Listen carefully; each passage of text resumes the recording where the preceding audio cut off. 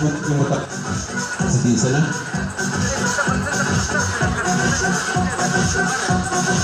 صيانة وتعبيد الطرقات بال